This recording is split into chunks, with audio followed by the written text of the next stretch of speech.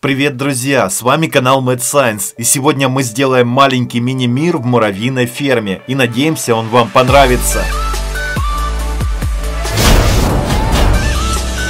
В общем-то, идея началась с того, что я захотел сделать мини-джунгли у себя в муравьиной ферме. Ну и пришлось закупиться некоторыми декорациями, кустиками и мхом. Также еще понадобились три зажигалки вот с такими фонариками. Ну и делать это все необходимо было как раз таки тогда, когда муравьи были не в арене. Ну изначально, понятное дело, необходимо было подготовить арену под необходимый грунт. Я думаю, вы заметили картонку на заднем фоне, так вот она сделана для того, чтобы муравьи забегали в эту самую норку. Ведь получается, что что они сбегают со света, то есть с арены и прячутся в темном месте. Также мне понадобился вот такой вот декоративный домик, в котором было необходимо просверлить отверстия там, где размещены окна. Ну и делал я это дрелью. Кстати, если у вас все еще нет дрели, то очень просто будет сделать выбор, воспользовавшись сервисом e-каталог. Благодаря куче фильтров вы подберете то, что нужно. Также можно увидеть сравнение цен и не зависать долго на разных интернет-магазинах. Если вам приглянулись несколько вариантов товара, то вы всегда можете сравнить сравнить их в одной таблице и быстро ознакомиться с их характеристиками. Не нужно искать фотографии товара в интернете, ведь на сайте e-каталог вы всегда можете ознакомиться с ними. Ну и конечно же посмотреть видеообзор на интересующий вас товар. В общем, если собрались что-нибудь для себя прикупить и сэкономить при этом время и немного средств, то рекомендую ознакомиться с сервисом e-каталог. Ну а что касается моей идеи, то я уже проделал отверстия в окошках и это получилось вот так. Ну и теперь в этих окошках, как мне кажется, не хватает стеклышек. И стекла вспышки я сделал с такого вот пластика. Изначально я подумал, что мне будет достаточно приложить этот пластик и вырезать нужный мне кусочек. Но позже, как оказалось, не все так просто, как снаружи. Внутри это все неровно и очень трудно приклеить. Но в принципе при помощи горячего клея все реально. Вот так и получается, что уже есть дверки и окна в нашем домике, но чего-то все равно не хватает. Ведь какой домик без освещения? Ну и понятное дело, нам необходимо было освещение, которое я одолжил у зажигалок с фонариками. Ну и хорошо, что эти светодиоды легко выкручиваются, и теперь их необходимо было вклеить внутрь нашего домика. Ну и когда я вклеил один фонарик, то в одной из комнат домика появился уже свет. Ну а внутри это выглядит, конечно, немножко похуже, чем снаружи. Ну а теперь, когда я вклеил все фонарики в домик, то теперь необходимо было их включить и посмотреть, как это выглядит. Ну и когда я выключил свет, то этот домик выглядел будто из сказки. Ну а если вам этот домик понравился, как и мне, то обязательно поставьте лайк и напишите про это в комментарии. Теперь, когда я заблокировал вход муравьям, чтобы они случайно не вышли, когда я засыпаю грунт, я приступаю его уже засыпать. Для создания этих мини-джунглей необходимо совсем немножко грунта, чтобы он слегка прикрыл песок. Ну и когда я это сделал, то выглядит сверху это примерно вот так. Теперь нам понадобится вот такая вот красотища. Это мох ягель, который был привезен из Норвегии. Как раз таки его прямое назначение это использование этого мха для декора. Вы только посмотрите, какой он красивый. Ну и как мне кажется, я для себя нашел нашел новый антистресс. Ну а килограмм такого мха у нас в стране стоит 20 евро. В общем-то получается не совсем дешевое удовольствие, но выглядит он и правда шикарно. Ну и теперь как раз таки я приступаю к декорированию арены муравьиной фермы. Ну и теперь когда мох в арене, я уже потихоньку начинаю добавлять и другие виды декора. И теперь у муравьев есть шикарный замок. Еще я прикупил вот такое вот растение. Кстати, ребят, я не знаю, как оно называется, но если кто-то из вас знает, напишите в комментарии. Вот, в принципе, все и готово. Теперь можно полюбоваться результатом. Да, и чуть не забыл включить свет в нашем домике. Ну и в вечернее время это выглядит примерно вот так. Подобная структура мха напоминает какие-то деревья и будто бы это непроходимый лес, среди которого находится сказочный замок, в котором запросто могут подселиться муравьи, которых, кстати, уже пора было открывать. Ну и поначалу эти мурахи, как мне кажется, немножко боялись даже выходить наружу, ведь для них размеры этого мха выглядят действительно как большие деревья будто это огромный лес. Ну и вот как раз таки первый смельчак, который решился выйти наружу. Затем подбежали его боевые товарищи, которые также решили пойти за ним. И один из муравьев добрался даже до замка и начал его активно изучать. Ну а в это время другие муравьи начали изучать лес, который был для них, кажется, непроходимым. Но ведь это только на первый взгляд. А тут муравей спускается по ступенькам. В общем, как мне кажется, муравьям такие джунгли очень понравились. А понравились ли они вам? Обязательно напишите про это в комментарии и поставьте лайк, если это так. Многие у меня спрашивают, где я приобрел такую муравьиную ферму, а приобрел я ее в магазине Ant Kingdom. В общем, если вы захотите купить такую ферму, то обращайтесь туда. Кстати, в этом магазине есть также комплекты для новичков, ну и приобрести это все можно как в России, так и в Украине. А еще в этом магазине действует промокод MadScience, по которому вы получите приятную скидку. Количество промокодов ограничено, поэтому поспешите. Ссылочки на магазин я оставлю в описании. Ну а что касается маленького мира в муравьиной ферме, то выглядит он вот так. Ночью это также довольно неплохо смотрится и надеемся, что вам это все нравится. Напишите в комментарии слово «хочу», если хотите видеть еще подобные выпуски. Подписывайтесь на канал, кто не подписан, жмите обязательно на колокольчик, чтобы не пропустить новые выпуски. На этом все, всем